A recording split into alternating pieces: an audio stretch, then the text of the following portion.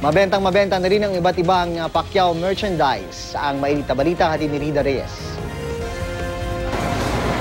Halos pakyawan ang mga limited edition Manny Pacquiao vinyl dolls na ibinebenta sa toy store na ito sa isang mall sa San Juan City. Parehong mabenta si Manny, suot ang kanyang basketball jersey at syempre si Manny, suot ang kanyang boxing attire. 895 pesos ibinebenta ang kada manika na gawa pa raw sa vinyl at patok na collector's item. kahit na medyo expensive nga siya.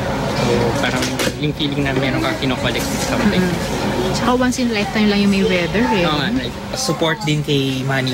At saka, ang ganda kasi ng, ganda kasi ng gawa. Ramdam nga raw talaga ang Pacquiao fever dahil dalawang araw pa lang mula nang ma-deliver ang mga manika, halos araw-araw nang sold out ang bentahan ng Pacquiao dolls. Every minute meron bibili. Siguro mga sa isang, sa 1 hour, naka 36.50 ganun. Ka- 30? 30 pieces, mga 250 pieces.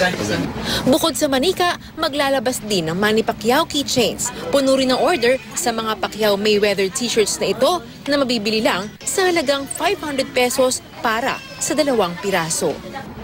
Rida Reyes, GMA News.